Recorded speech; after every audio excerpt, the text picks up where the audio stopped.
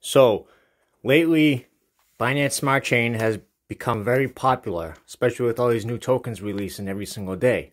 So, transactions seem to be taking longer and sometimes not even going through or failing altogether. If you're having this issue, then you might want to raise the gas price of your transaction before you send it. All right, now when a transaction confirmation pops up, here's what you do. I'm not going to go through the whole process. I'm just going to show you. So basically, I'm going to act like I'm sending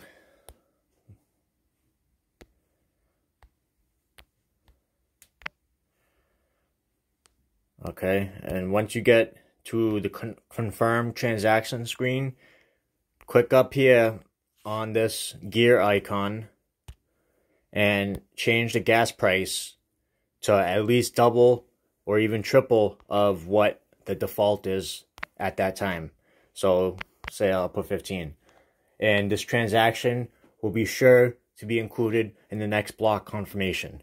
But say in another six months when another million people join Binance Smart Chain and transactions take longer, again, raise the gas price. If you are having issues and you have a pending transaction that won't go through, if you need to know how, go to my YouTube channel and search for Binance Smart Chain cancel transaction.